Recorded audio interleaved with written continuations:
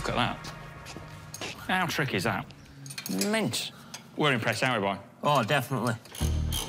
The next big problem is power, and that means taking out the Trabant's original engine. They must have had small hands, these Eastern Europeans, that's all I can say. Jeez. Ah, that's my fingers. Oh, sorry, sorry, sorry. Ah. You're right. Yeah, yeah. Sorry, boy. I've still got all five. sorry. The tiny two-cylinder, two-stroke engine only produces a pathetic 26 horsepower, and with time now running out before the race at Brands Hatch, I've got, the, I've got the light ends. I've got the light ends. Guy needs to find more power quickly. There you go, boys. Engine, gearbox and diff all in one there. Didn't take a lot, did it? Here's our man Bart, the Bart man. Now then, Bart. Morning. How you getting on, mate? How you doing? yeah, I'm all right. You all right? I do. You got here in one piece, then? Yes, I got here. Good man. Take a look. Thank you. Yes, please. Yes, please. So, was, it, was this your spare engine then? It was not my spare engine. It, it was an engine I could spare. Right. There's a, yes, there's a yes. I understand.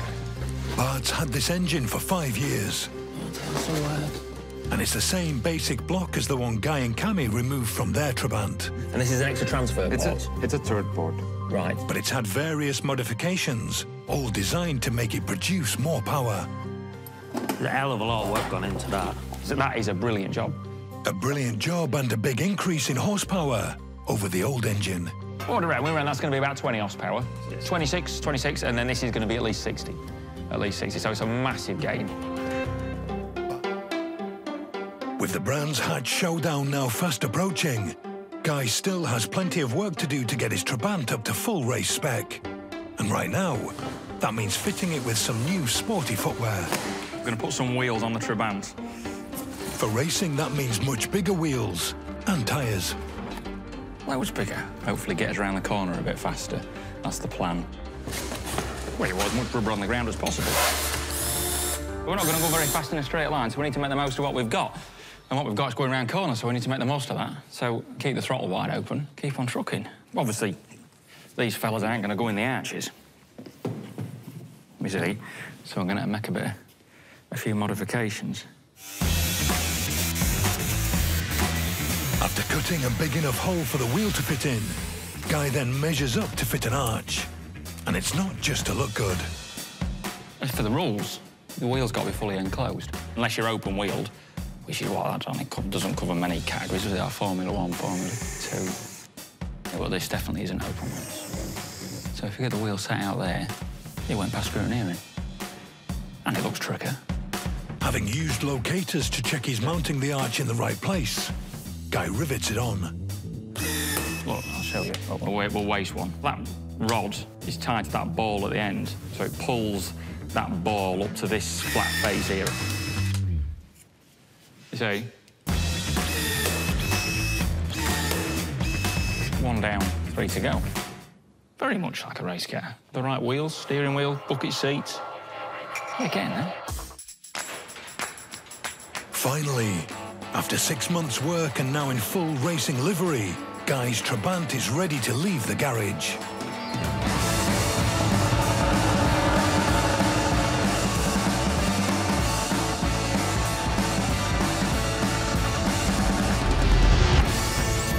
They started out with a 35-year-old 26-horsepower relic of the Cold War. And now they have a very smart 60-horsepower racing car.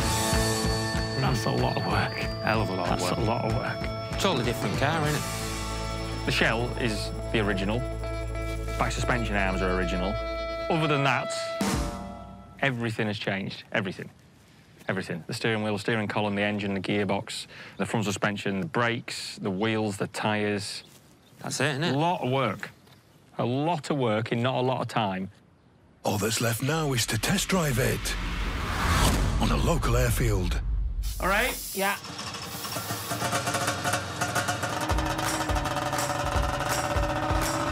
To start with, Guy takes it easy. A short shakedown, just to check everything's working. She sounds well, doesn't she? I think he's just trying to get used to that column change as well because it's, it's actually on the steering wheel just where the actual gears are. Got an intermittent brake light fault as well. Then after a short pit stop, The suspension's come loose. Out like that, nothing's melted. and a refuel, Let's go again. he gives it the beans.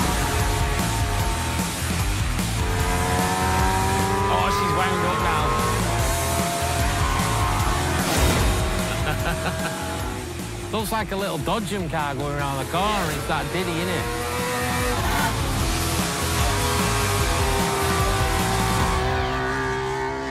That's a lot faster than the Trabant we watched on that video.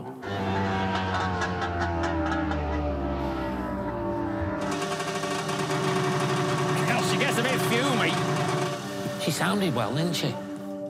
Nimble as out, really nimble. She's good. If it went as well as it handles, we'd be laughing. Guy's souped up Trabant is built, tested, and ready to race. Next stop, Brands Hatch.